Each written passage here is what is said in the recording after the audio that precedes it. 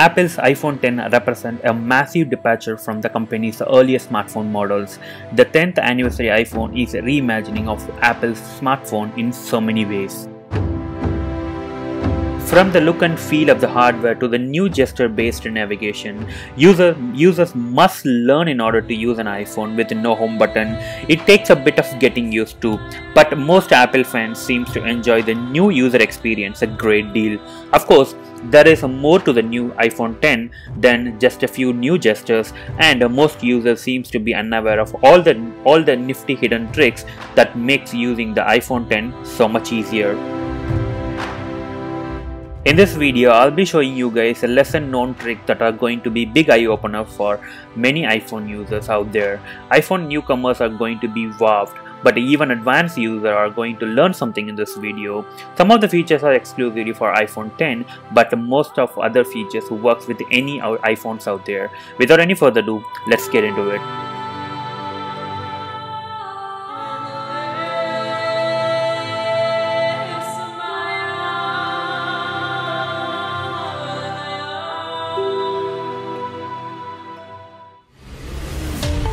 Face ID setup. This one is quite possibly the most important tip you will find in this video. If there is one thing that iPhone users take the longest to adjust to, it's the loss of Touch ID. Some people love Face ID, while others seems to have a great deal of trouble getting it work consistently. What you might not know however is that there is a way to set it up that seems to have a huge impact on how well it works for many users. The basic idea is that people hold their iPhone directly in front of their face when configuring Face ID. Of course, no one hold their arms straight out when actually unlocking an iPhone. That's why people have uh, found that Face ID works much more quickly when it's set up while holding the phone down at waist or stomach level instead of up in front of your face. Moving app icons. Don't you hate uh, it how it always take a dozen try tries to move a jiggling app icon into a jiggling folder? Don't worry, there is indeed a better way. While holding the app you are trying to move with a finger on one hand, tap the folder you want to drop it into with a finger on your other hand. That's it. As is the case when you are moving app into a folder, you can also use a finger on your hand to swipe between home screen pages. Trust us, it is so much faster than trying to hover the, on the corner of the screen and waiting. Reachability Remember that awesome feature on an older iPhone where you could double tap the home button and the display would slide down so you can reach things at the top of the screen with one hand. Well, it's not gone it is just hiding. Open the app, open the settings app and go to general, accessibility and scroll down to interaction and enable reachability. To use it, simply make a quick swipe on the home bar at the bottom of the screen. App Switcher most people think that the best way to open the iPhone 10's new app switcher interface is to swipe up from the bottom of the screen, stop, stop in the center, and wait for the app switch to appear. That's not the case. Instead of swiping up and stopping, swipe up from the center of the bottom of the screen and then over to the right in the one continuous semicircular motion, you will get app switch even faster. Multitasking You don't like the way the app switcher works on your new iPhone 10 to switch between multiple apps? Not to worry, there is indeed a workaround. As in the case with the tip above, there is also a faster way to switch between recent apps. Instead of swiping up, over and then back down, just swipe from the side to side along the home bar at the bottom of the display to easily switch between apps. It is faster. Face ID unlock time. New users will think there is only one right way to unlock the iPhone 10.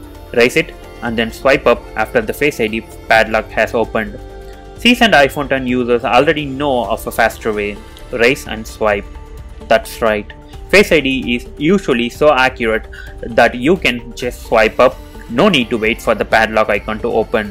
When the true depth camera is held directly in front of your face, you save a half a second, but when you're unlocking your phone all day long, they add up.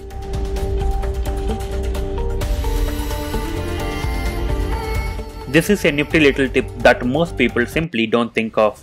Remember, when you enabled reachability using one of the tip above, well, now you can use it to open the control center or notification panel with one hand on, on your iPhone 10.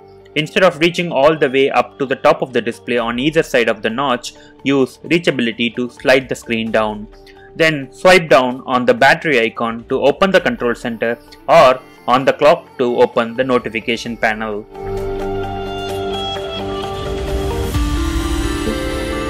If for whatever reason you find yourself in a situation where you don't want Face ID to be your primary form of security, like if you are being held captive somewhere and someone has your phone and could force you to look at it, you can quickly deactivate it. Quickly press the power button, officially called the side button, 5 times and it will automatically turn Face ID off and default your passcode to unlock. Entering your passcode will reactivate the Face ID.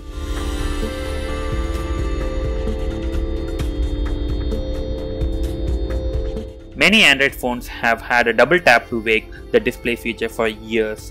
Now, iPhone 10 users have a similar feature, only it requires a tap. Tap to wake is nice for when you just want to check the time or peek at your notification without lifting the phone up and triggering the Face ID. You can tap anywhere on the iPhone 10 display to activate this feature.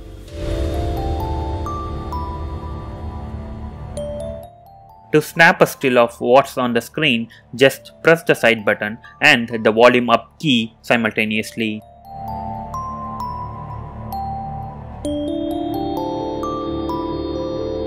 The keyboard is one of the biggest weak point of iOS devices, in part due to the lack of an option to add a number row. Fortunately, there is a way to quickly switch between the numeric and alphabet layout on your iPhone keyboard. To try it out, simply tap and hold the 123 button while you input the numbers or punctuation marks. Once you are finished using the numeric keyboard, let go of the 123 button and your keyboard will change back to its alphabet mode without the need of an extra tap.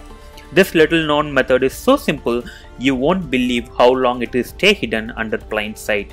It is especially ideal for typing alphanumeric passwords and it will make typing in general faster once you get hang of it. That's all for today and I hope you enjoy and learn something new out of this video. If you like my video give me a thumbs up and please subscribe my channel to see my videos as soon as I drop in. Thanks for your support. Have a good one.